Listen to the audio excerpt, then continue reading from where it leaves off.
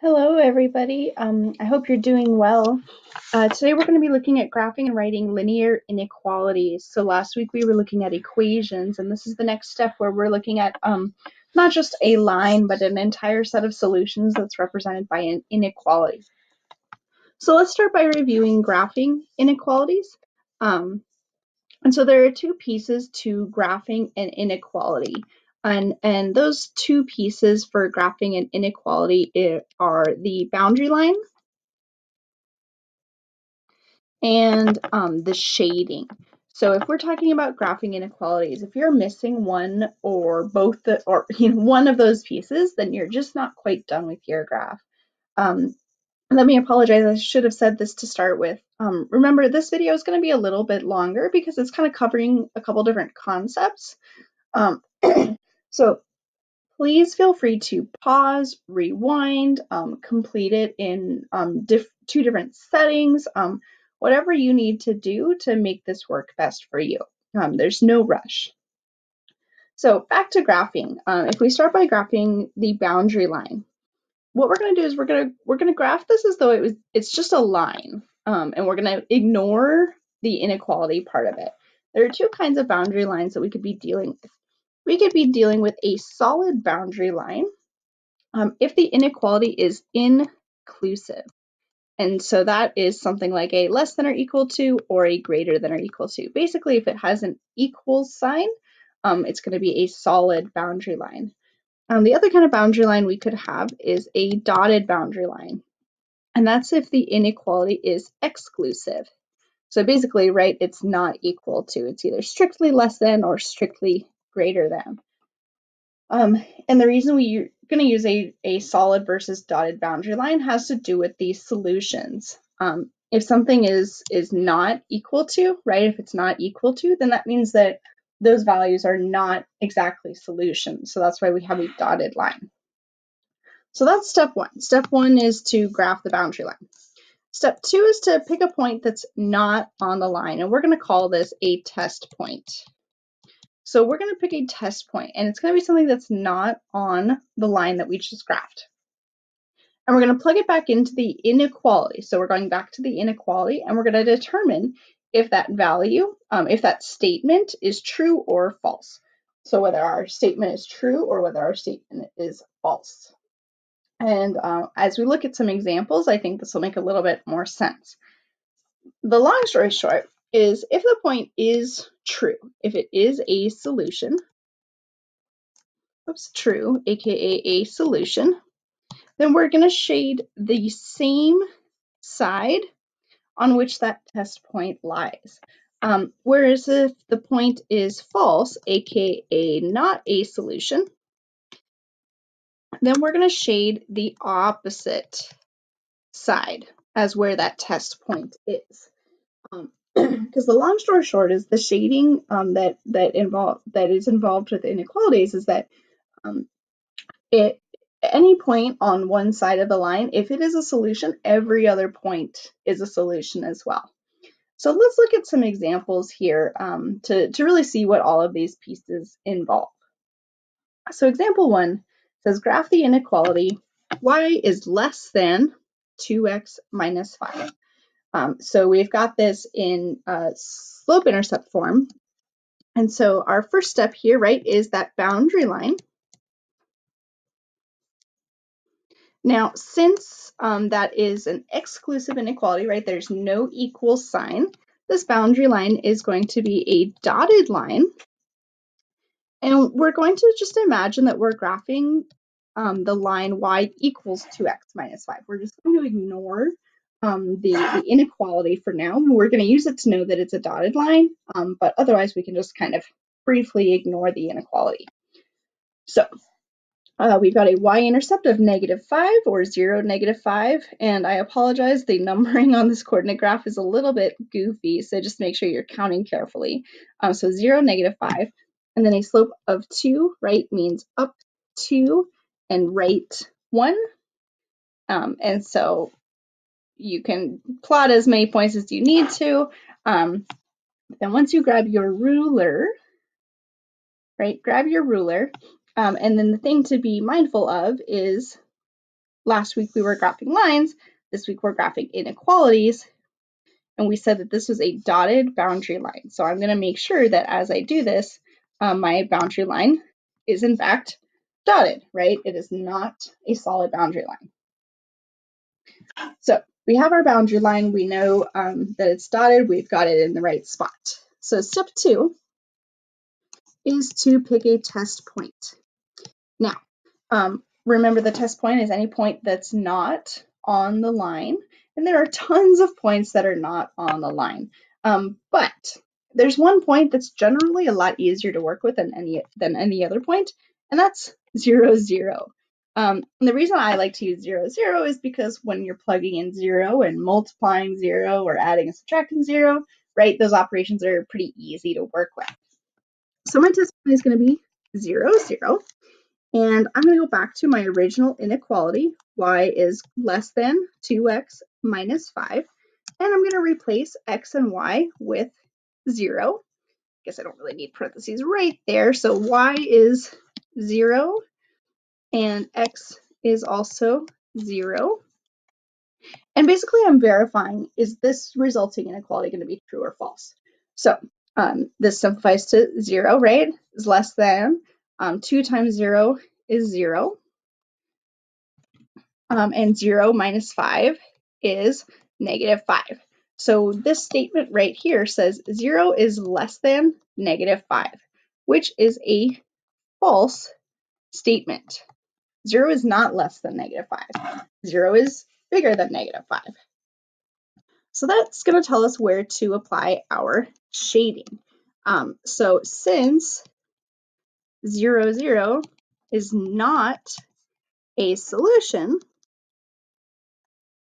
we're going to shade the opposite side. So if I look at where 0, 0 is, 0, 0 is um, above my boundary line, um, which means that I'm going to shade the opposite side as 0, 0. Um, and uh, don't spend 10 years um, shading your graph, right? As long as it's obvious where your shading is supposed to be, um, then you're good to go. So again, we have our three steps here. Right? We have the boundary line, it's either solid or dotted. We have a test point. Um, my preference is zero, zero. Sometimes zero, zero is not a good choice if it's actually on the boundary line. Um, and then once we have tested that test point, we know where to shade and we just need to apply that shading. So we're going to do a couple more examples together. Um, these next few examples are going to involve some uh, questions for you to answer along the way. So again, feel free to pause the video, rewind, um, whatever it is that you need to do. Um, take a break if you need to. So example two, we've got the inequality y is greater than or equal to negative 2 thirds x plus 1. So again, my boundary line, since I have an equal sign there, right, this is an inclusive inequality. Um, a shortcut that I remember learning in high school is that if you see a line in the inequality, you have a solid line. And that's pretty much the silliest thing I can think of, but it, it works for me. So this is going to be a solid boundary line. And again, we're, we're treating this as if it was simply the line y equals negative 2 thirds x plus 1. We get to temporarily ignore the inequality. So my y-intercept is 0, 1. Oops, I'm going to be consistent with my coloring there. Um, 0, 1. And then a slope of negative 2 thirds means that we're going down 2 and right 3, down to right 3, and we can use as many points as we need to as long as we have at least 2. And then the ruler helps us be extra precise here. Um, uh, looks pretty good. I think so. And I want a solid boundary line. So this one's going to be a perfectly solid boundary line because it was an inclusive inequality.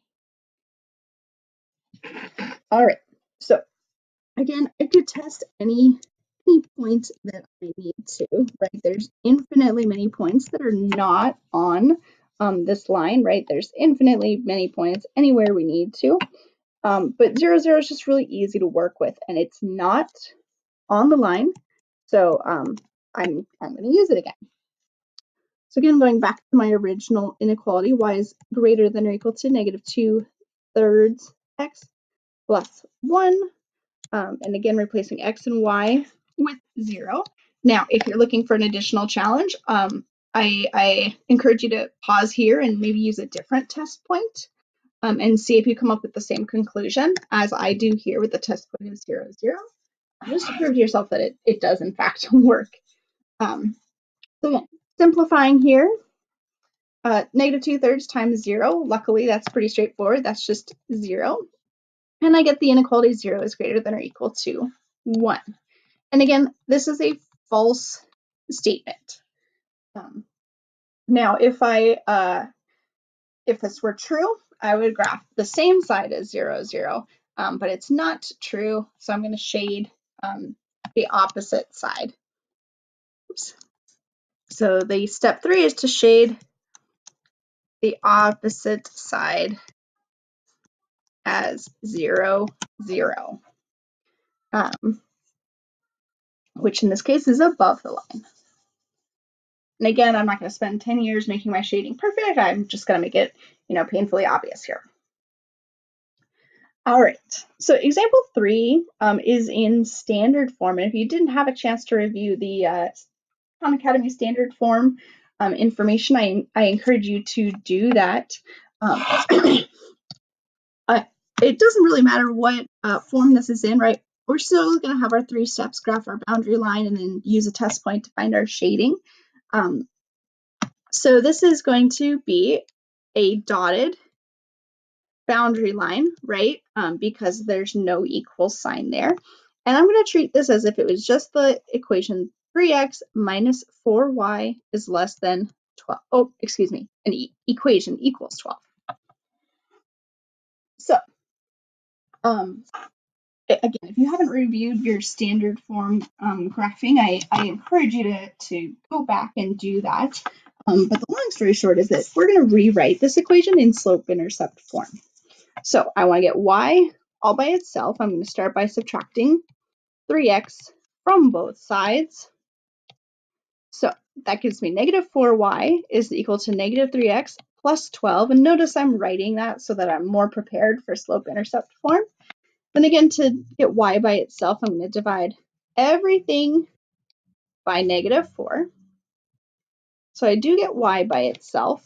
Um, and then remember, if we're dealing with uh, addition in the numerator of a fraction, we can always um, kind of treat these individually here. So I'm going to get negative 3x divided by negative 4 plus 12 divided by negative 4. And if I want to simplify that further, I'm going to get positive 3 fourths x minus 3 because uh, 12 divided by negative 4 is negative 3. All right, so now I know what my line is going to look like. Um, it's a dotted boundary line with a y-intercept at 0, negative 3. Then a slope of 3 fourths means I'm going to go up 3, right 4. Maybe just add a couple of points here. And then use my ruler uh, to, to draw my dotted, remember, dotted boundary line.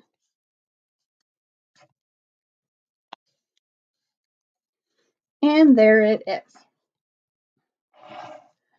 Um, so again, in standard form, there's a little bit more um, manipulation involved just to, um, you know, make it easier to graph, but the overall step is the same.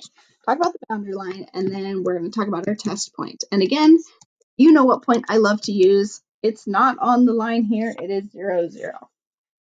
And so I'm going to go back to my original inequality um, to test zero, zero. So um, that will be 3 times 0 minus 4, oops, excuse me, times 0 is less than 12. And again, here's why 0, 0 is extra awesome. Um, 3 times 0 is 0. Negative 4 times 0 is 0. And so I get the statement 0 is less than 12. Aha, that is a true statement, right? Zero cookies is less than 12 cookies. So since that is a true statement, um, we're going to shade the same side as zero, zero this time. Right? Um, 0, 0 is a solution, which means that every other point on the same side is a solution. So since 0, 0 is right here above the line, um, all the rest of my solutions are also going to be above the line.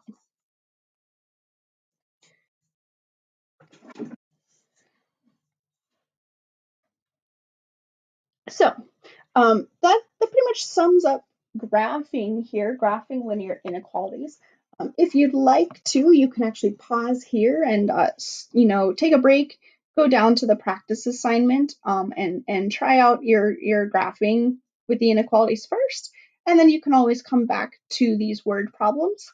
Um, but I just wanted to make sure that we got these yeah, kind of covered so that you have a little bit more of an idea of uh, what these inequalities are used for. So um, to look at these word problems here, it's really important that we're looking for a couple of um, key things. We're looking for what, what makes a variable um, and um, what quantities are related. So example one, Lisa sells earrings and necklaces. She sells the earrings for $30 and the necklaces for $40. To make a profit, she must sell at least $1,200 of jewelry a month. So our tasks are to define our variables, write an inequality, and then graph the solutions. Um, so when we say define the variables, right, if we're going to use x and y's to write inequalities, we need to know what they represent. So we've got two quantities here. We've got the number of earrings and we've got um, the number of necklaces. So I'm going to define x as the number of earrings or pairs of earrings, I guess. I'm not sure. And y is going to be the number of necklaces. Um, so we've got a couple of quantities related here, right? It says $30 per pair of earrings and $40 um, per necklace.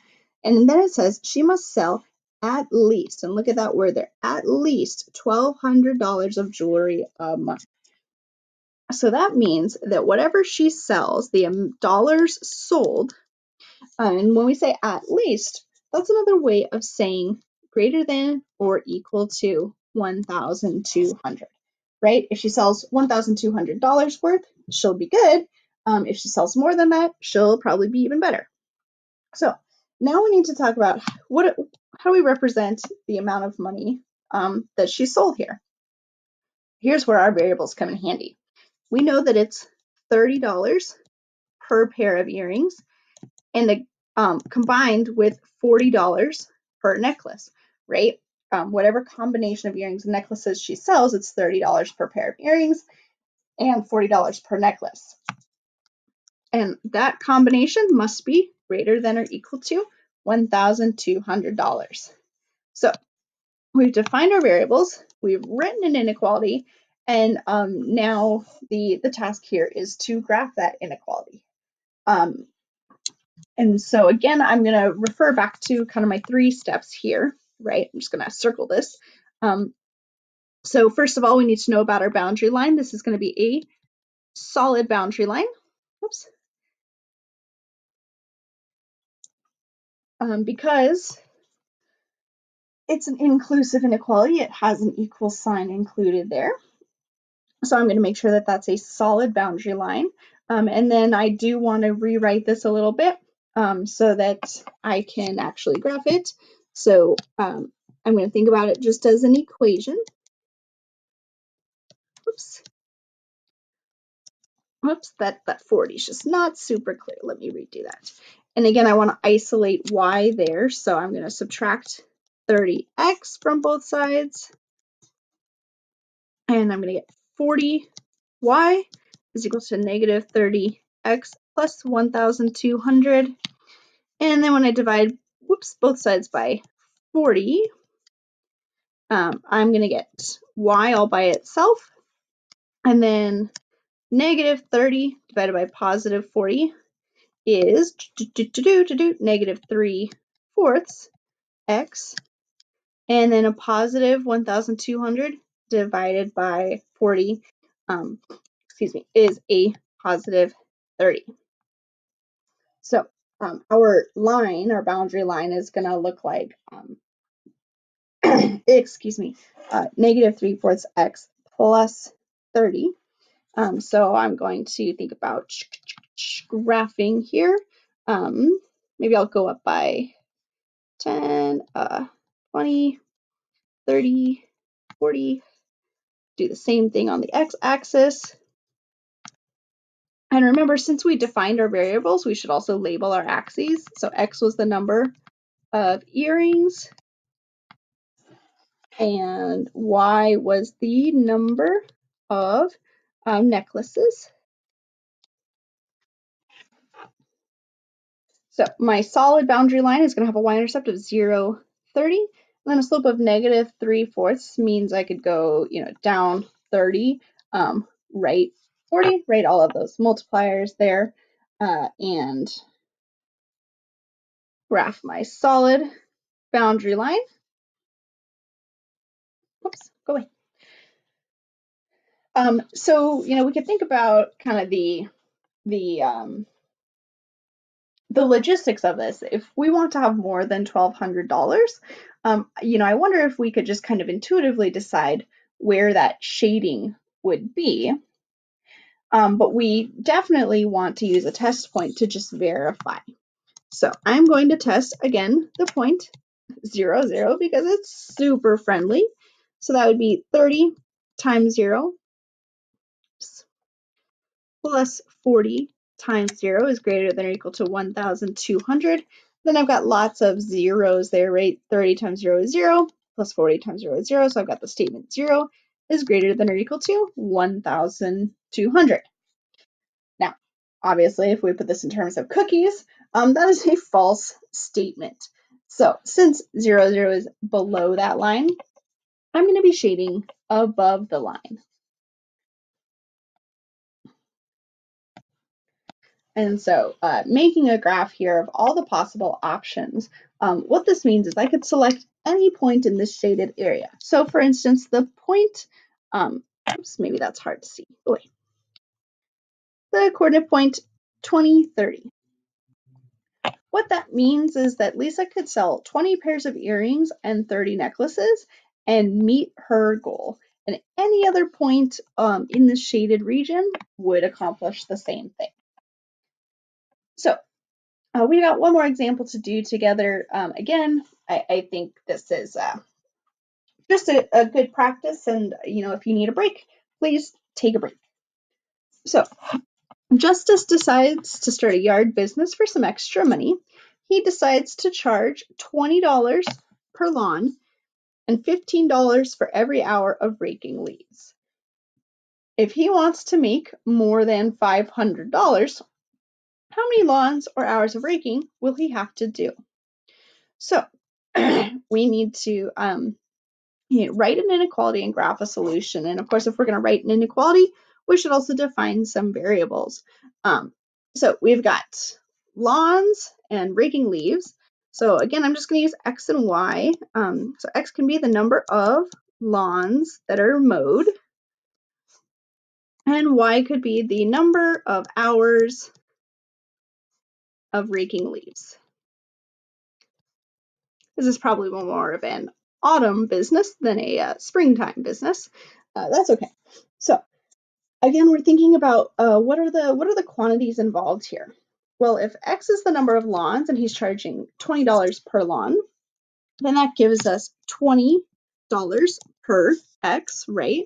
Um, plus $15 per hour of raking leaves. And now the question is, um, if he wants to make more than $500, how do we how do we resolve that as an inequality? Well, more than um, means strictly greater than.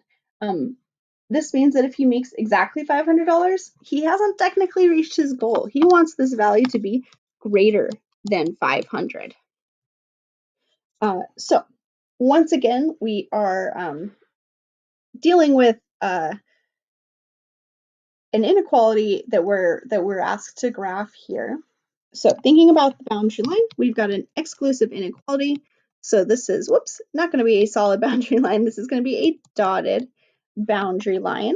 Um, And so if I'm thinking about uh, how am I going to graph this, um, again, I'll, I'll uh, go through this example.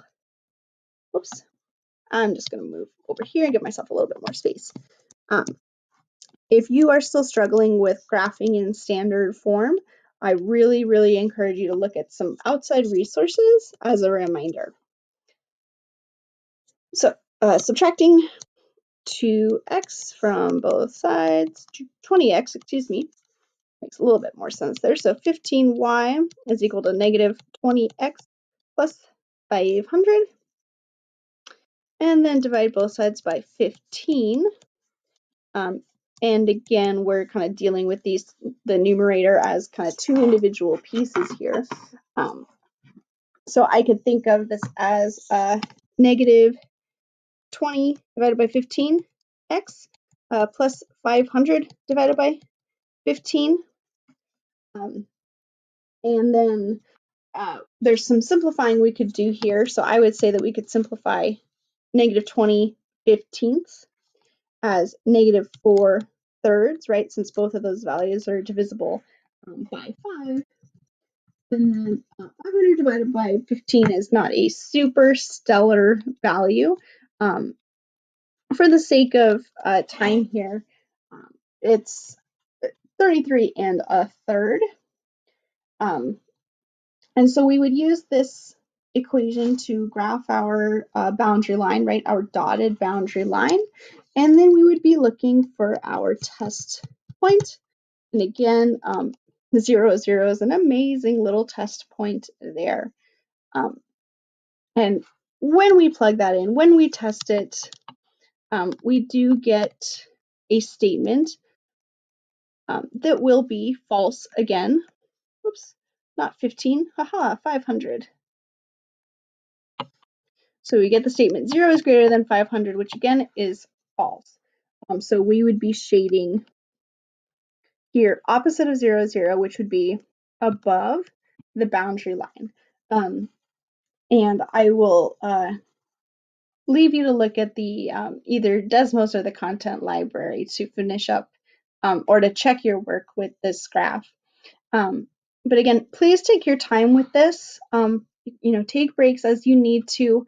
Uh, use Desmos to check your work if you need to, and and please join um, join us for these Zoom office hours and get those questions answered because this is this is a new challenge here, and it's it's not going to be easy. Um, but I'm I'm going to do my best to make sure that it's as smooth as possible.